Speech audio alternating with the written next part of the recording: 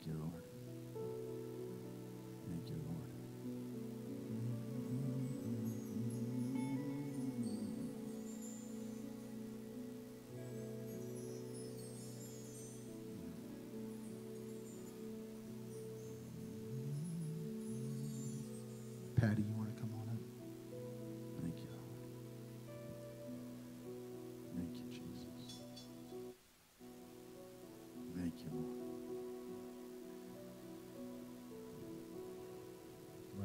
Good time to give a healing testimony, huh? Good morning. Um, a couple of days ago, actually two days ago, I picked up something that was too heavy, and um, I didn't have any problems immediately. But about an hour later, my neck and my upper back was in intense pain, uh, and it was one of those things where you know it's going to take forever to heal. Well, anyway, I wrote a couple things because I didn't want to forget to give God the honor in any way. Um, oh, okay. um, I couldn't sleep that night because of the pain, and actually, I wound up having to sleep. What little sleep I did get, I had to sleep in my chair.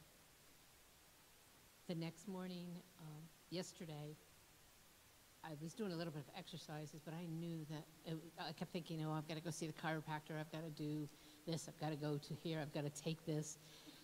And I- just kind of quieted myself to the Lord, and um, God healed me in one day. I have, not only do I not have any pain, I don't even have an ache in that area. You can't tell that there was ever anything wrong. And so I just wanted, I, cor- I wanted to publicly praise God for that and give him the honor. Awesome. Great. That's right along with the message this morning the creative spirit of God. Uh, before we kick out into that, um, couple announcements this morning. Uh, the prime time fall fun. I love. Oh, oh, by the way, Terry sang this morning. Thank you for doing that. Still anointed as ever more anointed probably now I think about it because of uh, all you've been through in life and you have never given up. Praise God. Yes, ma'am. Yes. I still remember that message you gave about high heels. That was a good message. She can preach too, by the way. um, Primetime Fall Fun, Saturday, October 28th, 11 o'clock. Bring food to share. Come dressed as a Bible character. Bob Bell, be careful. Everybody knows about your toga experience.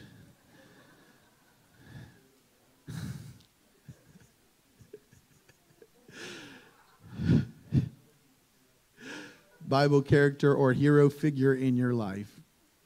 Friends, welcome. Sign up at the door by October 22nd. So there's a sign up sheet. It looks like this. It'll be at the door when you walk in, the front or the back.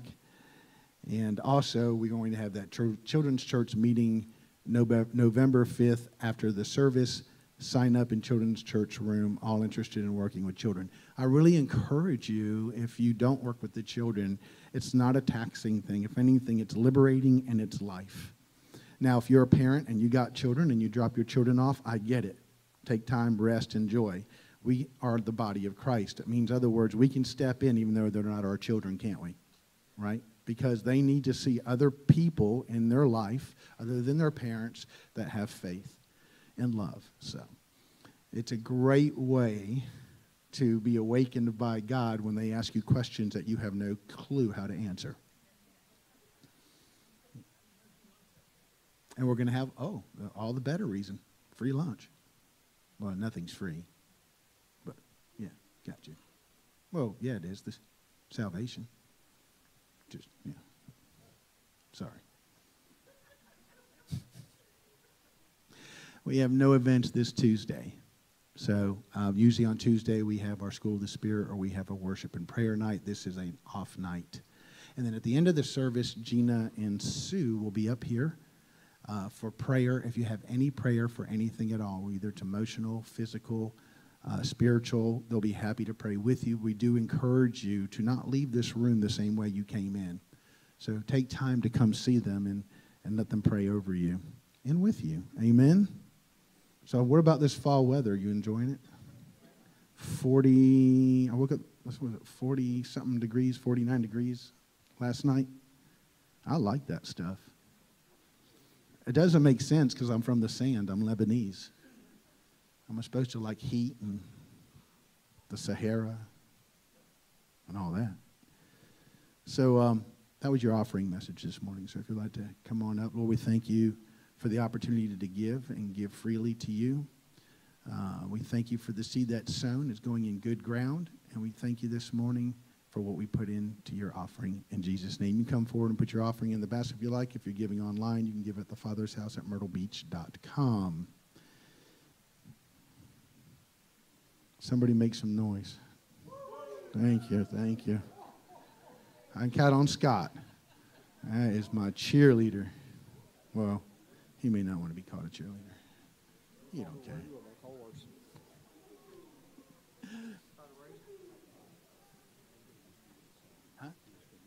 Do whatever you want.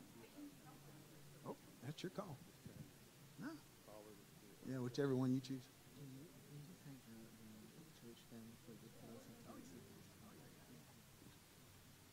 Um, Pastor Howie just asked me to thank everyone who sowed into him and Terry last week when spontaneously the Holy Ghost wanted to bless them. Glasses you found? For me. Oh. well, I have these. Okay. Okay. Thank you. Thank you, Tina. Um, so Pastor Howie just came up and said, please wanted to thank the body for all the people that sewed into him and Terry. If you weren't here last week, uh, it's pretty cool.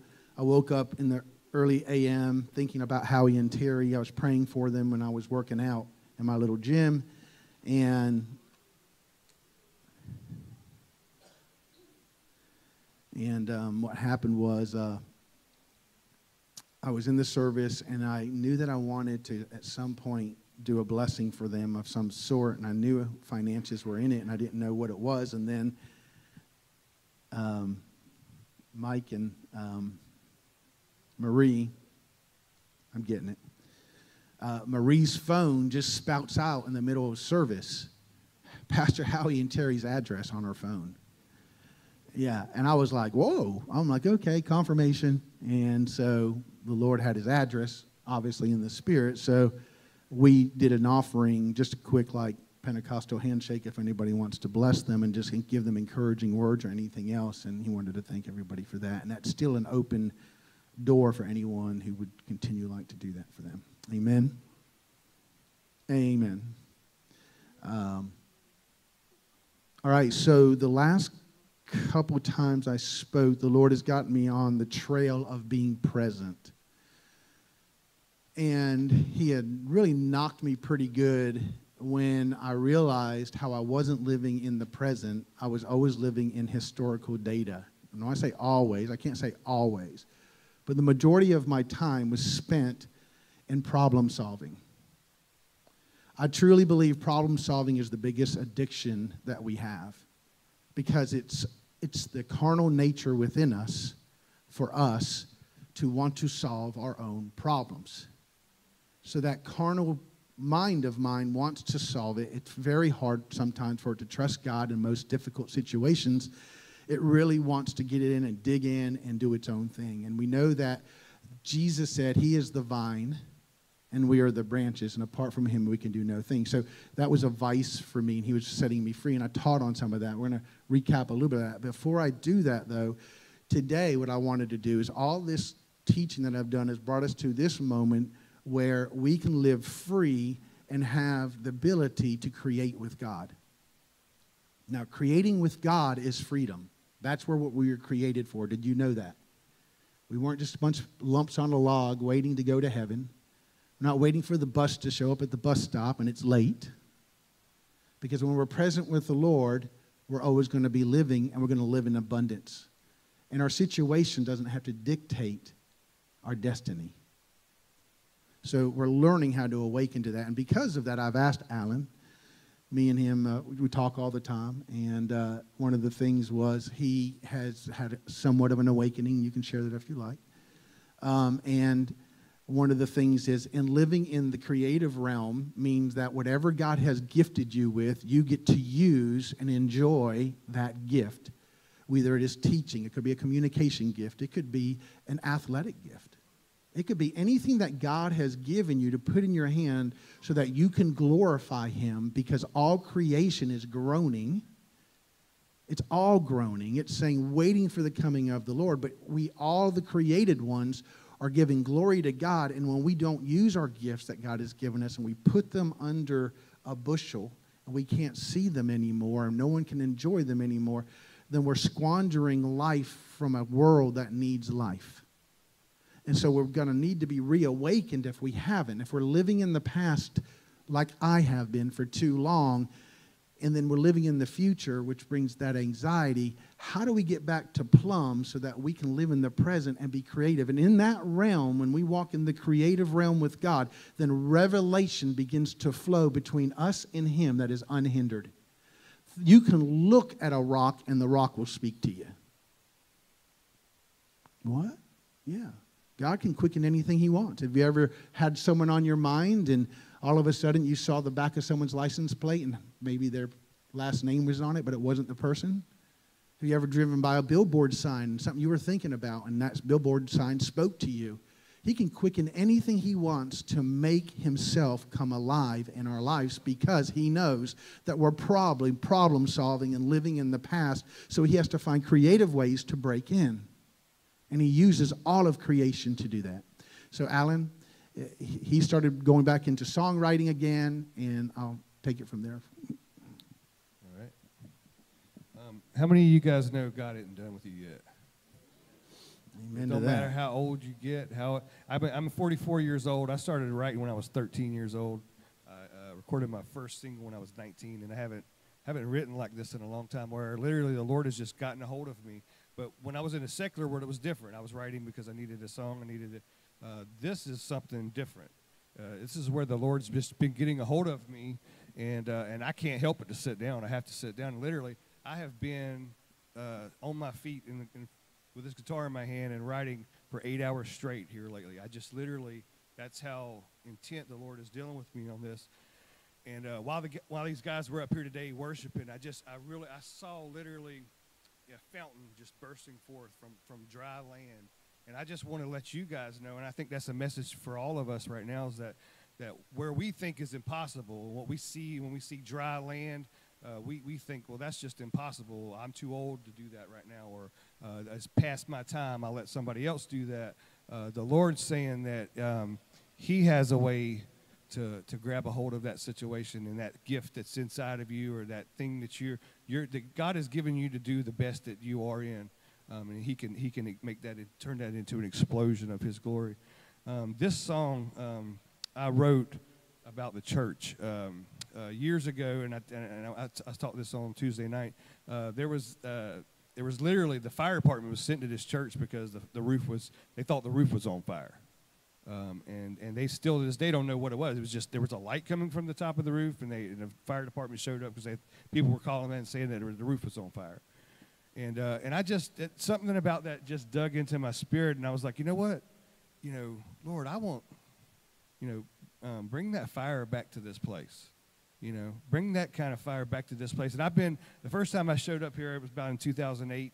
Um, and, uh, um, and, I, and I've been in and out and back and forth, but I just never could get away from this place. And I, and I really believe this song is more than just for this place, though. It's for, um, you know, uh, all your churches, wherever you go, all, you know, it, it could really just is it's just the heart for the church for the people. Because it's not the building it's the people inside of it. And the relationships and the relationships is what keeps me here and keeps bringing me back here and i can't get away from it. So this song's called uh, fire in, of your love. It's the fire of your love and the holiness of your name. It's the fire of your love and the holiness of your name.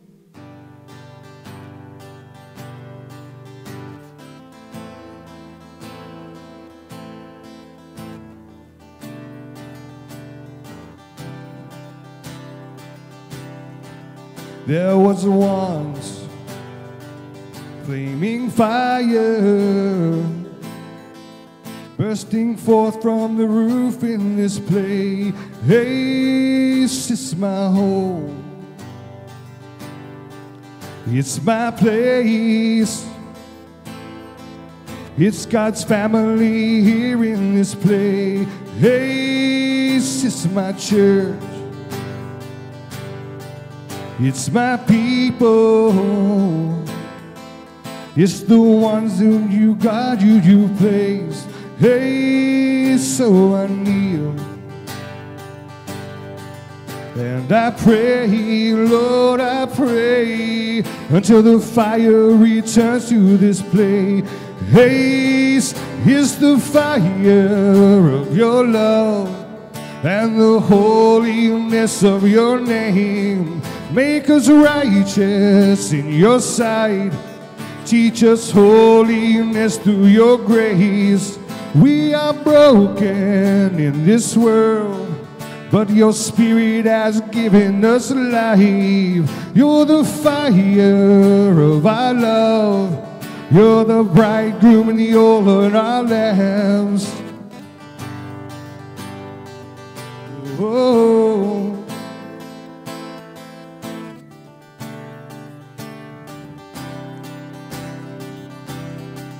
There was once flaming fire from the roof bursting forth from this place. Hey, for one, you'd save all. Let me stand in the gap for them all. Oh, yeah, for two, you'd save all. My brother and I will come through. Oh, so we kneel and we pray. Oh, we pray until the fire returns to this place. Haste is the fire of your love. It's the holiness of your name. Make us righteous in your sight. Teach us holiness through your grace. We are broken in this world, but your spirit has given us life. You're the fire of our love. You're the bridegroom, the oil in our lamps. Send an explosion from heaven and fire in this place. Remove the floor from our feet and give flight to our souls. These walls can't hold you, they can't hold you. Stay aside for a moment and don't let it pass. Give your spirit in fullness and feel it sad last so we can behold you as we hold you. Fill the earth with your presence like you promised us to. Let old men dream the dreams and old men dream the dreams so we can see you as we see you. An explosion is coming. I saw it come forth with the power not seen yet by the church on this earth so we can see you as we see you. It's the fire of your love and the holiness of your name. Make us righteous in your sight. Teach us holiness through your grace. We are broken in this world, but your spirit has given us life. You're the fire of our love. You're the bridegroom and the oil in our lamps. It's the fire of your love and the holiness of your name. Make us righteous in your sight. Teach us holiness through your grace. We are broken in this world, but your spirit has given us life. You're the fire of our love. You're the bridegroom and the oil in our lamps. You're the fire of our love. You're the bridegroom and the oil in our lamps.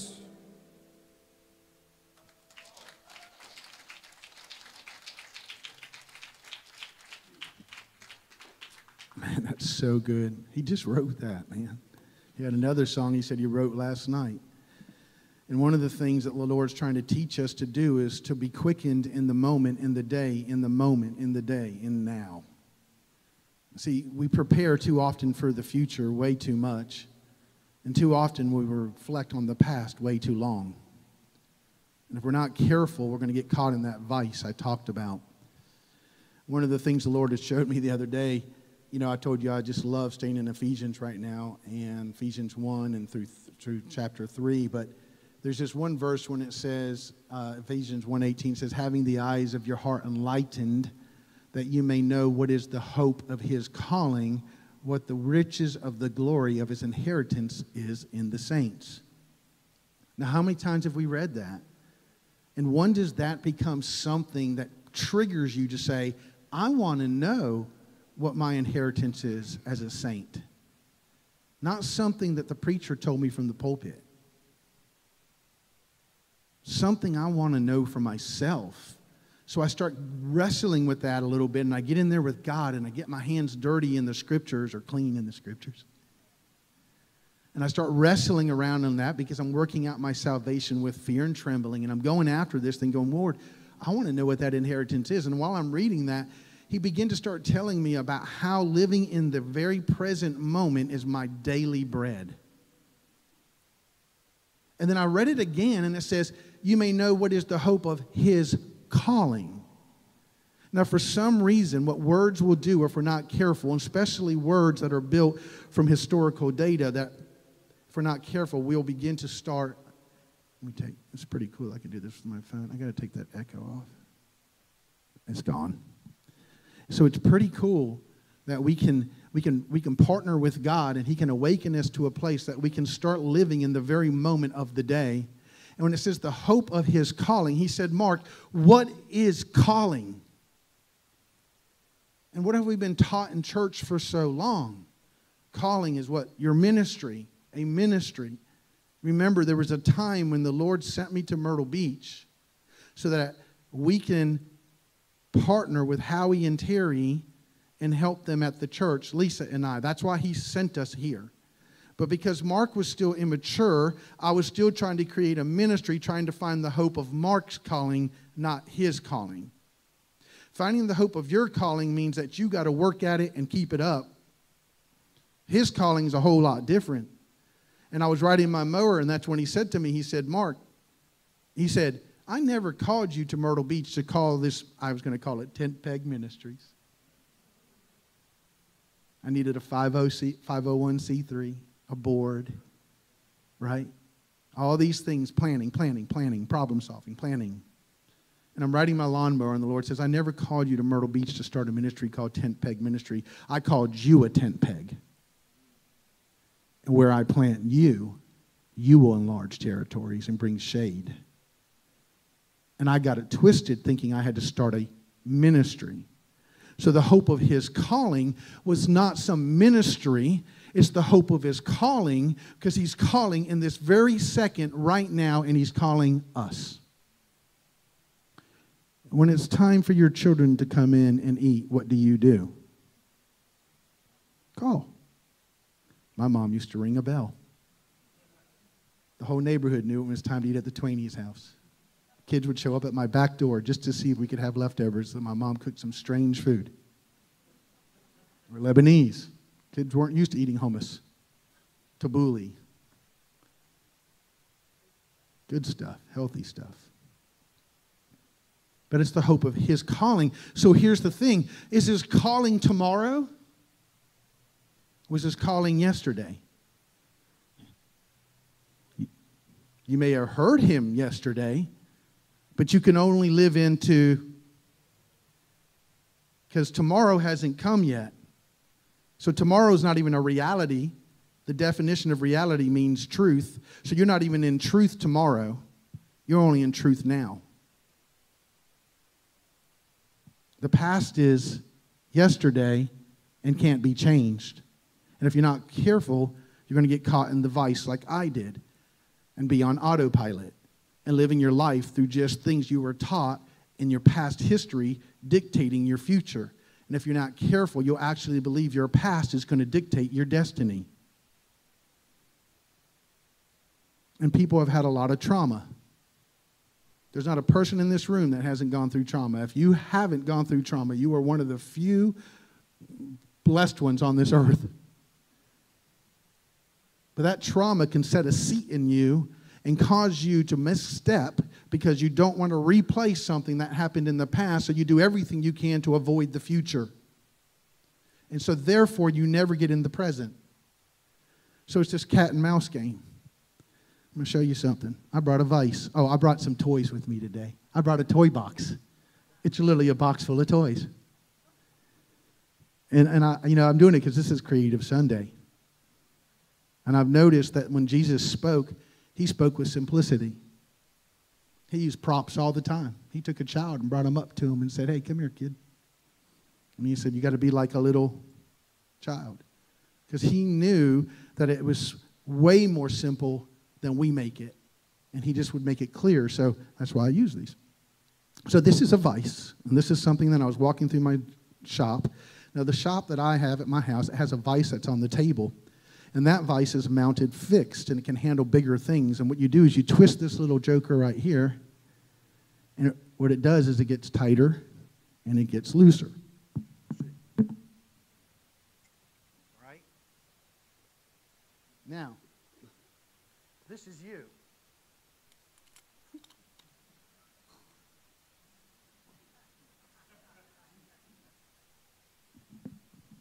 Silly as it may seem, but the reality of it is, if you're not careful, you're going to get caught in the vice of the past and the future. Which is the past? What cannot be changed is the fixed end. That end you can't change. You can't go back and change yesterday. And if you live in the future, you're always going to have this little joker right here tighten a little tighter to the point that you're such in this vice that you can't get free. And what's going to happen is you're going to end up living in a place where vices are going to be needed for you to survive.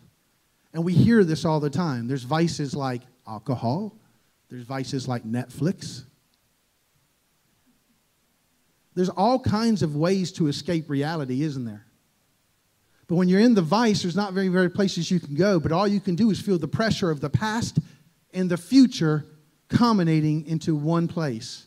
And it's a lot of pressure, isn't it? And so, how do we do this? How do we get free from being stuck in this vice? And that's hopefully today. I'm just going to be quick about it. I'm going to reveal a few things that the Lord has revealed to me. I really can't give you much revelation outside of what I've experienced. But outside of my experience, there's not much to offer. And here's one thing I have learned there's nothing I can put in God's hands. I can't give him creativity. He is the created one. And my job is to create, worship the creator, not the created. And so, what will happen is when you're stuck in this vice, you'll worship the created because you're going to end up going for external things to avoid your pain. You will find things on the outside to fulfill you, but we know that those are empty fulfillments, aren't they? Maybe another promotion at your job, or maybe finally that car you've been hoping for. Well, what's that in the scope of eternity? Because you're not taking any of it with you, are you? The only thing we're taking with us are people. So this dude right here is he's pretty he's in a pickle. And so we want to set him free. So let's do that. All right, little Batman.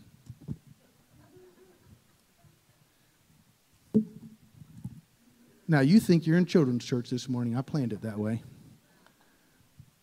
Because we're too complicated. See, knowledge puffs up.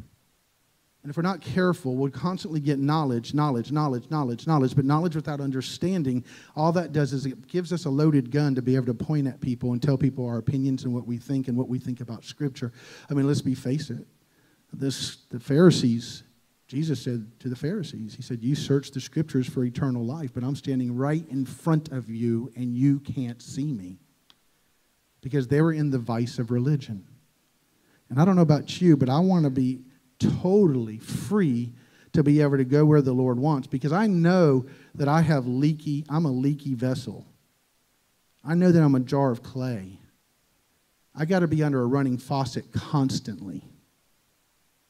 Because if I just think I can go to church on Sunday and fill up one time, by next Sunday, I promise you I'm going to be on E.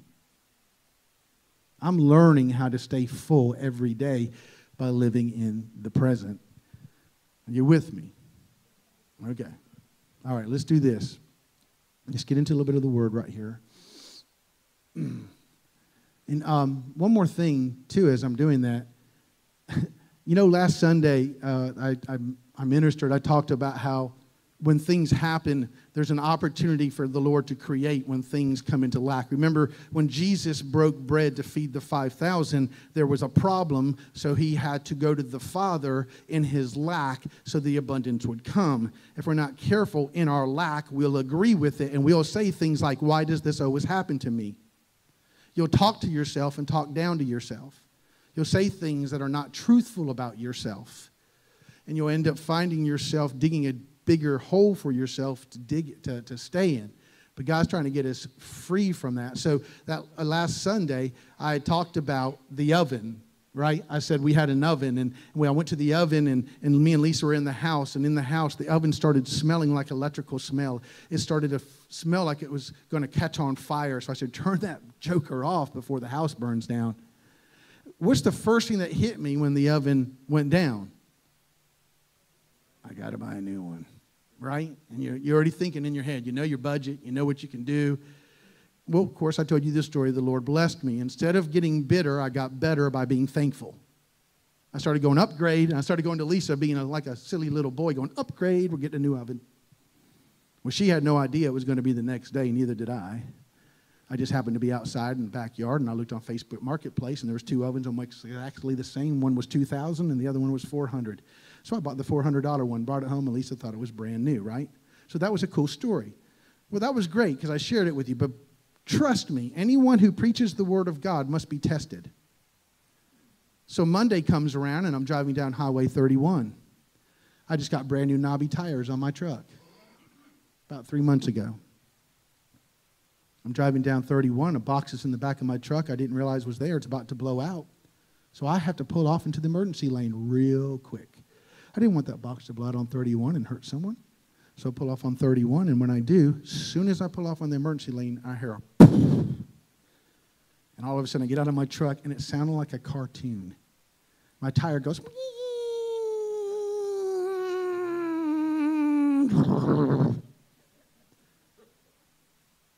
I'm bummed. I am bummed because my tire is now flat and I was just trying to do a good thing, Lord. I was trying to get off the road so nobody behind me could get hurt. Instead, I land on top of a piece of metal. If you saw this piece of metal, did you see it, Alan? Did I show it to you? That thing's a big old L bracket. Somehow ended up in my tire. Now I'm sitting on the side of 31 and I'm real close to the edge, and trucks are driving by so much that I can literally feel the wind throwing me forward into my truck. So now I got to lay down on the ground and I got to take this tire off. And I don't know how to do it because this particular truck has a spare tire that doesn't have instructions how to get it out. I've changed many a tires. I've never had this Dodge Dakota before. What does the Lord say to me? YouTube. So I go into my truck, I sit there, and I get on YouTube to figure out how to lower my spare tire. Where is this all going? I'm telling you, the creativeness of God is alive in every moment. I had a choice to get bitter, but instead, I started acting like a little kid and saying, upgrade. Something is going to happen because I'm partnering with the Spirit of God instead of partnering with my carnal mind that is going to drive me to the past or it's going to push me into the future. And I'm going to learn and stand to be present with the Lord even in my affliction. So I'm sitting there and I'm going through, I'm, I'm doing, you know, I'm, now I'm at this point where I'm actually laughing at myself because I can't believe this is happening. So I do it, you know. I get in there and I finally, I finally get the truck. I get the spare tire. Come to find out, there's this long rod that's in my truck. It comes out to almost six feet. You got to stick it in a little hole right beside the license plate. Who could figure this out? Then you got to crank the tire down. And I'm like, you crank the tire down. I crank the tire down, I get it down, I get on the road and I get going. But the crazy thing about it was is how much presence was still with me.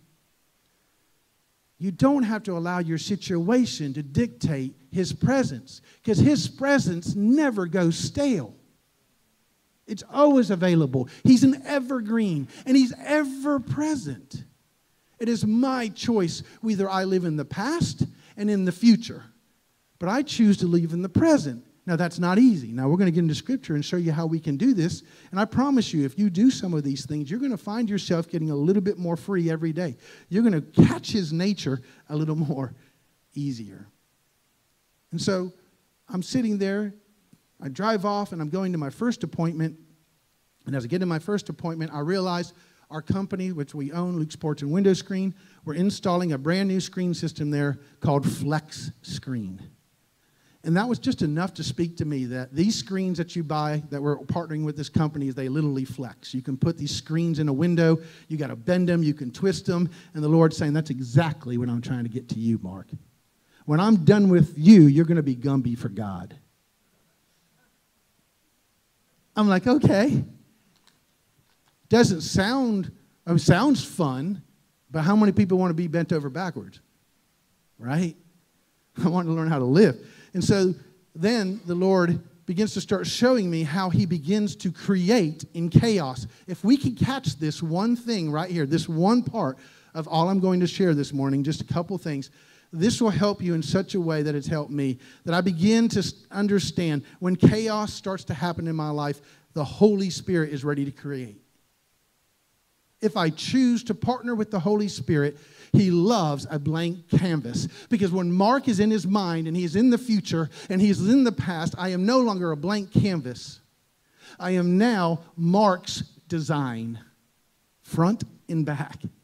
But when chaos happens, it takes us our hand off ourselves, off the situation, off our independence, and it says, I don't know what to do. And you just became a blank slate. And now the Holy Spirit is about ready to create. If you can keep your attitude right, right? If we can keep our heart bent towards the Lord, if we can say, Thank you, Lord, even when we don't want to, because I'm about ready to learn something. I am not thankful that my tire blew. I'm thankful I'm about ready to learn something because I just ran into chaos. How many people have seen the commercial from, is it, I don't know which one it is, Mutual Liberty, one of those, and chaos comes out? Mayhem. Mayhem shows up, right? Allstate.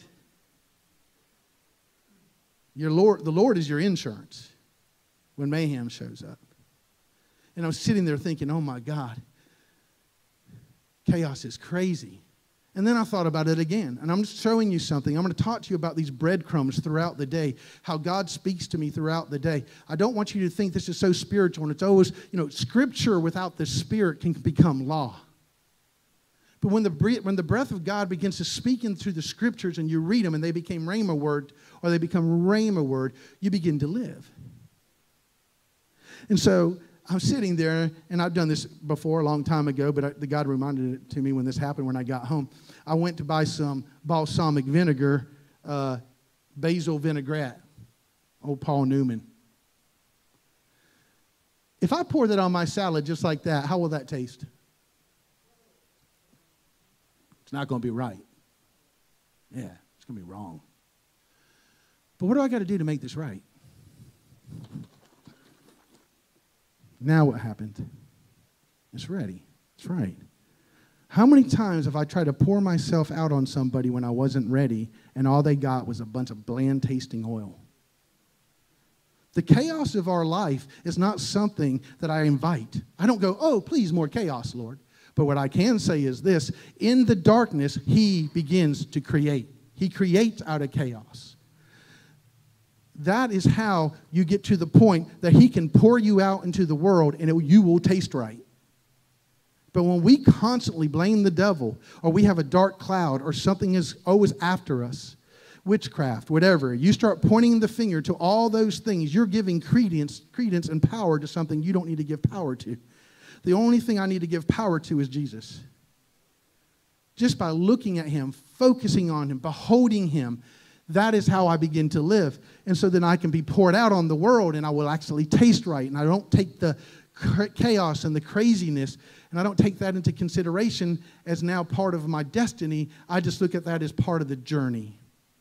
And I'm learning to walk in that. In Genesis 1 1, it says this First, this, and this is out of the message God created the heavens and earth, all you see, all you don't see. Earth was a soup of nothingness, a bottomless emptiness, an inky blackness. God's Spirit brooded like a bird above the water's abyss. God spoke light, and light appeared. God saw that light was good and separated light from dark. And He's still doing that in our minds. Whether you know it or not, your carnal mind and your spirit are at enmity to each other according to the scriptures. When I walk in the light or the mind of Christ comes on, then I have the ability to stay out of the darkness. I have the ability to walk in the light. In Ephesians 5 8, it says this For at one time you were in darkness, but now you are in the light of the Lord. Walk as children of light. So I'm being thankful that I can walk in his light. I have learned so many things through this whole process of walking with the Lord throughout the day and, and, and knowing that that chaos. How many people, you know, have, have recently had chaos? Right? I mean, just, just not only did it hit us on Sunday, we got a thing in the mail. We, we hooked up with an insurance company that's one of the most crooked insurance companies I've ever been part of in my life. We're just all we do is window screens, and they want to charge. They were trying to charge us sixteen thousand dollars a year for liability insurance just to do window screens. So we started getting out of this company as fast as we can, and they, those jokers just sent us an eight thousand dollar bill yesterday. Yeah, it was Saturday in the mail. Lisa, me and Lisa looked at each other and said, "Never open mail on Saturday."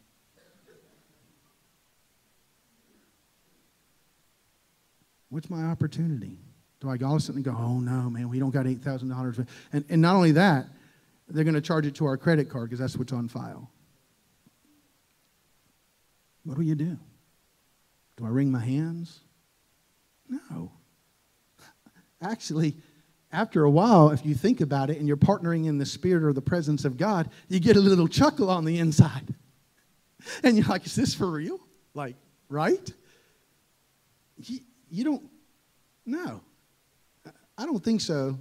Lord, I thank you that you're going to work this out for us. And even if I have to pay the $8,000, I'm going to get $80,000 in revelation. See, my riches is not about the external realm. My riches are in Him. My life in Him is the only thing that matters to Mark in my age. And the older I get, the harder it is for me to part, partner in the external realm. But I know I have to because that's just called being faithful and having to do this. And one of the key things, I, I used to read that scripture about be thankful in everything, giving you know, thanks to the Lord. I'm like, I can't be thankful for everything because I didn't know back then what I was being thankful for. And in 1 Thessalonians 5.17, it says, pray without ceasing. In everything give thanks, for this will is the will of God in Christ Jesus to you word. Quench not the spirit. Despise not prophesying. Prove all things. Hold fast that which is good. Abstain from every evil form. And I'm realizing, wow, I couldn't even pray properly because I was always living in my past or living in the future, and I was always dictating my prayers based on what was going to happen or what has already happened. So I didn't have the ability to stand in His presence and say, What do you want me to know in real time right now? And then all of a sudden, He starts speaking to me about other people, and I start praying for other people, and my life starts to wake up. And then I begin to realize, Oh my God, I've been so self centered and then I think, my God, these pe- if you take everybody's mess and you threw it in the middle of this room, you'd be running back for years. You just don't even know what people are going through. We just don't even have a clue what people are going through. And so I asked the Lord, I said, How do I get out of this? He says, Just, he takes me into Matthew 6, and he says, How many times have you prayed the prayer out of Matthew 6 that, uh, Hallowed be thy name? Just like he did about the call. I said, I prayed it a lot. He says, let's go back and read that together. And he says, pray like this, Matthew 6, 9. Our Father in heaven, hallowed be your name. Your kingdom come. Your will be done on earth as it is in heaven. Give us, us this day our daily bread. And forgive us our debts as we also have forgiven our debtors. So, what is our daily bread? This is a challenging question. What is our daily bread? Have you thought about it? What is your daily bread? Yeah, it could be knowledge, but what about an understanding? What is Mark's daily bread? My daily bread is to partner with God throughout the day the best that I can and be as present as possible because I know I can't do it 24 7, but I do know this I'm more aware of God's presence than I've ever been without trying to be aware. Just by walking with Him and acknowledging everything that happens good, bad, and ugly. And the reason I started off with chaos is because that's the one place we don't normally want to acknowledge God. That's the place we want to solve ourselves. But if you can find Him in the chaos, you're going to find life. Because He said that He broods over darkness, and the Holy Spirit is wanting to create, and He wants in, and I've got to allow Him in. So the next thing is, what is my daily bread? Do you remember what happened to the manna when they tried to save it up for a day?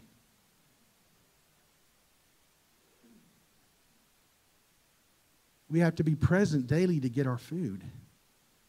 Every day. That's what Jesus said. Every word that proceeded from the Father's mouth was his food. So I'm learning how to abide in Christ so that I'm not living in an external measures to bring satisfaction in my life. I'm learning to have my inward man being renewed daily so that I'll have the love and the power of God to go through the day. And it's, it's a learning lesson. It's something that we, we don't just fall on top of the mountain. It's something that you got to dig in. It's something you got to want to start partnering with the Spirit on when you start to partner with the Spirit, He'll start to partner back with you. But if all you're going to do is quote the last, the last iPod message you heard, the last, uh, the last message you heard from Sunday, and then you just shape your entire theology on another man's revelation, then you're going to be drastically dissatisfied. We're learning how to hear from God from ourselves. We're learning how to get in here and, and find out what God wants to say about us so we can wake up and become that mature man that He said we can. So my daily bread consists of many things. It consists of me being in prayer with the Lord. It consists of me in the scriptures. It consists of me how I, I, I, run into people throughout the day and what is he doing in their lives. And I want to get involved with him and, and, and see what he wants to do. I want to, I want to help people get out of the vice, help them see that they, they were created in God's image and that, and that they have a destiny, not someone else's destiny, but they have a destiny. And God wants to quicken that through all of us. Here's another little thing here. I got more toys. This is why. So, there's one thing the Lord's awakening me more to than ever is, is relationships, friendships, right? How many people know we need friends? Good friends. Someone said if you have one good friend, you have more than your share. And he's waking us up to what he died for. He died and so loved the world for us. Say, people. That's why we're here. And if we're not careful, being in the vice locks us down so that we have no opportunity to help anyone but ourselves trying to swiggle ourselves out of that thing. And God wants us to wake up so that we will no longer be in that vice. And so I was in my yard this past week, and this is, I'm just giving you examples. Today's just like this, I don't know, what do you call it when you used to go to school and you show and tell?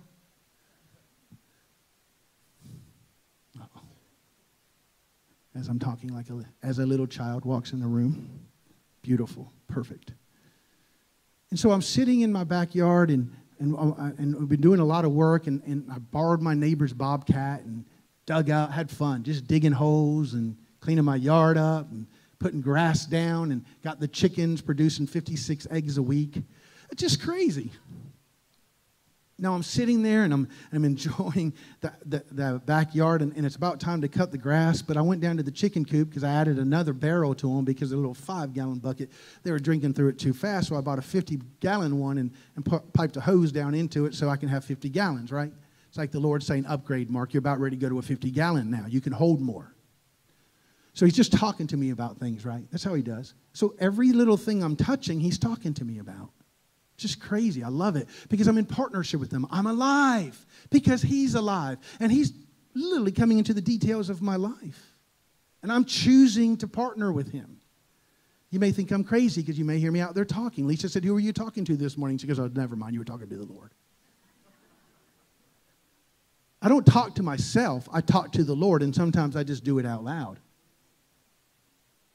Because that's I'm, I'm so enamored by him. I'm so blessed by this relationship I have with him. So I'm in the backyard and I'm digging up, and that's where Batman came from. Isn't that right, Dave? It came out of the deck. Underneath the deck. He was doing our deck for us, and he found Batman underneath the deck. Not only did he find Batman, but I don't know. I, don't, I think this guy is Gimli from, kind of looks like you. You can have that. Yeah.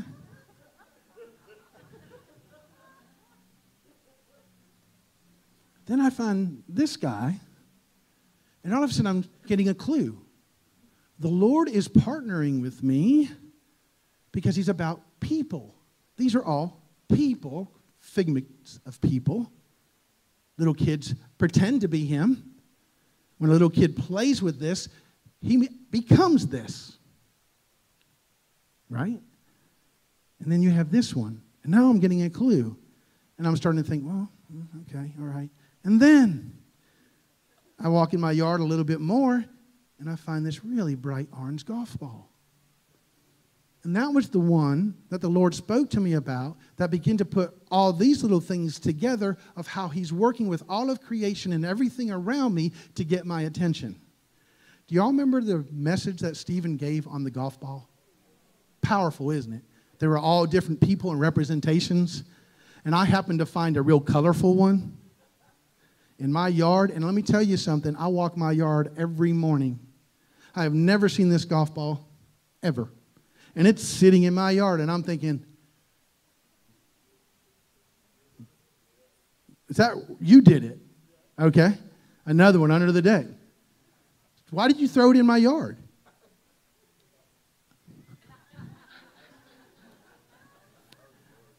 And it says nitro. So I pick up the golf ball that's colorful, and the first thing that comes to my mind is Stephen's message. And the first thing that comes to my mind, next thing that comes to my mind is people, because that's what the whole message of the golf ball was colorful people like me. And I'm thinking, okay. And then, this is all true. This is all happening in, you know, real time. This is just this week. Then I look a little further around my chicken coop that I have dug out. And I've done everything. I put grass around it, and I look, and in the ground, I see this little thing sticking up. It's a weird looking golf ball. It's got the stars on it and the moon. And I'm like, what in the world is going on, Lord? And I'm like, that's crazy. And I'm, I go into Lisa, I, say, I keep finding toys in the yard. Did you find that one? And there's another one in the yard. It's a wiffle ball, practice ball for golf. It's got holes all in it, just like people, just like me, that has to stay under a runny faucet because if I don't stay under a runny faucet, by the end of the week, I'm going to be empty. And that runny faucet is the Spirit of God that I'm present with on a daily basis. It is not something I can store up, it is something I'm living in now. And I'm like, cool. I just love how he works. Now, this happens to me all the time. You're just getting a snapshot or a slither of a week. And then all of a sudden, I look a little bit further. And I don't know if you saw this one. It's Yoda. And Yoda represents wisdom. And I'm thinking, where did this guy come from? And inside it was so full of dirt. And as soon as I got this one, it all came. The Lord said to me, He said, Mark, He said, every child that has been in your home, Salvador included, Junior, every child that has been in your home and grew up in your home with your boys, those toys came from. My boys played with those toys, and other kids brought those toys and left those toys, and those toys are buried in the dirt. And so are some of my children, and some, some of them children are still in the dirt. Will you please help get them out of the dirt? How do you want me to do that, Lord? Pray. Pray? Yeah, it's a good idea. And I started praying and I started calling out all these kids. My kids would have birthday parties so big that they'd have 30, 40 kids at them. We watched them grow up, didn't we, Salvador? He was one of them. We watched them grow up. And some of them found their way in places and fields they shouldn't be in. And that's okay. It's not too big for the Lord. I'm not wringing my hands. I'm saying a creative miracle is going to happen in their life. And now all of a sudden life starts to flow through me because I'm no longer consuming anything from the Lord. I am now giving it away. And it's in the giving that you'll start to living. And so if you're not careful, you'll take your trauma, you'll take all that dirt and you'll pack it inside yourself like that little golf ball did. This golf ball was so full of dirt when I got it this morning, I had to, it's still in there. I had to shake it off because it was so full of dirt. And if you're not careful, you'll just be a consumer.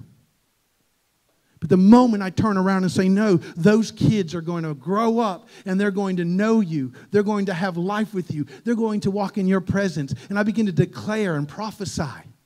I begin to speak over their lives. I'm telling you, an energy that I can't even describe to you that comes over me because I get excited about the Spirit creating in their life something that they have no idea when Jehovah Sneaky shows up, what's going to happen to them.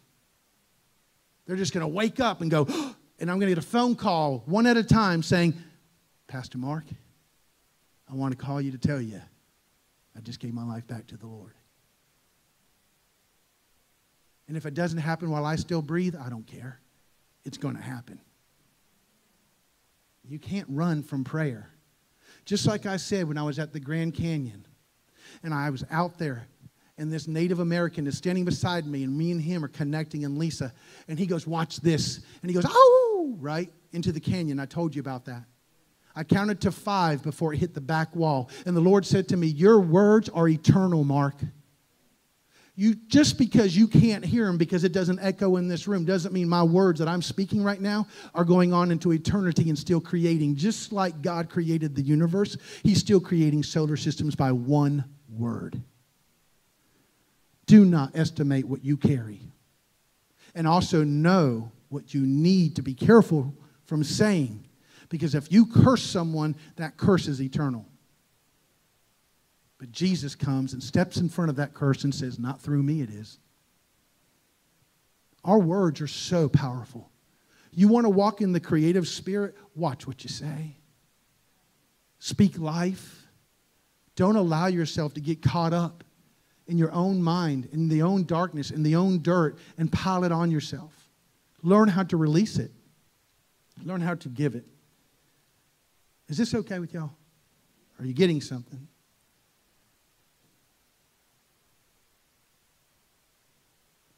I'll just, I'm going to just go ahead and close with this. I am the vine, verse 15, 5. I am the vine, you're the branches, abideth in me. He that abides in me, and I in him, the same beareth much fruit. For apart from me, you can do no thing. Sorry. I've got a lot of scriptures. I got so much revelation coming, that's just crazy.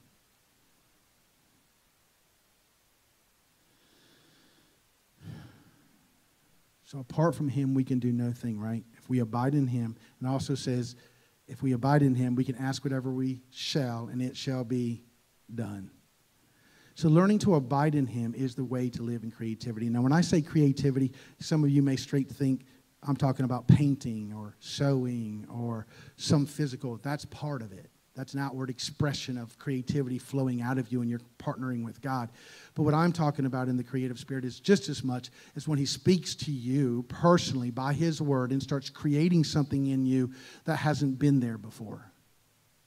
It's because you lived in the past for so long and you lived in the future for so long. There's a chaos.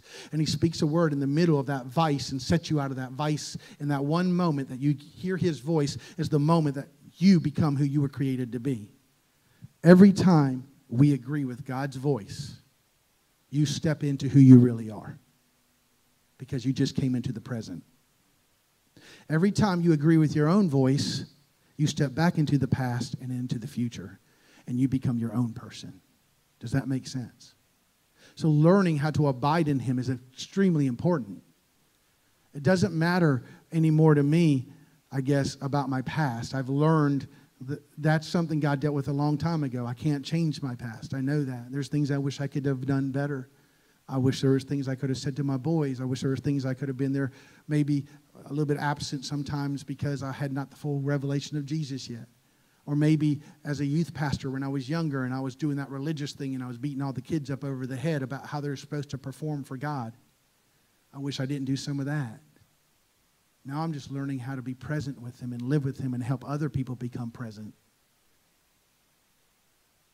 Because you really don't need to live in someone else's revelation. You really got to start learning how to walk with God so you can become autonomous for Him. Hear His voice. And that's what the body of Christ is for, so we can encourage one another. We can be there for one another. We can stand with one another. The creative miracles of God are wanting to take place on this earth. You got healing miracles that will take place. There are people right now, I know Cody and Brittany and you guys have all been hitting the streets lately, and you've seen miracles, and that's great. I want to see more miracles. I want to see them in the church just as much as I want to see them in the, in the streets. I don't know where the creativity of God's flowing in you, but what I can say is don't stifle it. Step back up. Terry, when you got up and sang today, you couldn't have timed that. See, me, that's a breadcrumb. You didn't know Alan was going to sing his song. When's the last time you sang in church? Years. Yeah. And this morning she decided to sing. See, I look at that and go, yeah, man. I call that. I love that stuff, man. I love to watch people step out and let God flow through them more than I like watching it happen for myself. I'm so addicted to watch other people thrive, I don't even know what to do with myself sometimes. How does it make you feel when you've been praying for someone that's been stuck in the mud for years and they call you up out of the blue and say, Hey, man, just happened recently to me to a friend from high school. I'm going to be going to his wedding. He's been, he's been with a, a female for years, decided not to get married, and all of a sudden he came to the Lord and he called me up and goes, Guess what? I'm getting married. I said, What happened? He goes, I found God. And he goes, I want to thank you. I don't know why he's thanking me. He goes, Because the way you've lived your life gave me an opportunity to want to know what this God was like. That was one of the greatest honors. There's a scripture in the Bible that says God is working with you in Proverbs. He's working with you to create within you even while you sleep. So you can't get away from Him. He's everywhere, in everything, always moving in everything, in toys. Well, He didn't move in the toys, He moved in me, but used the toys.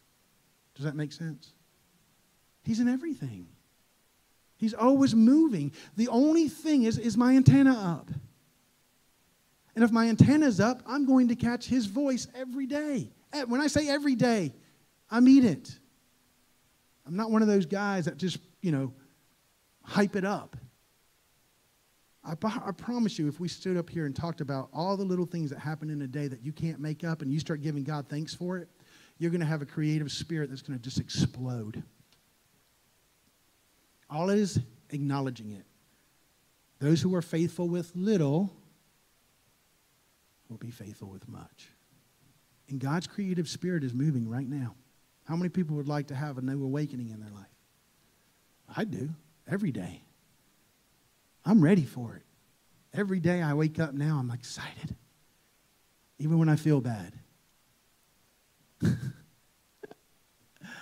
is precious. No, it's perfect. You cannot come in at a perfect time with those little children. Absolutely. They are treasures. Children are treasures. Amen. All right. Whoa. I didn't know what time it was. I got too excited.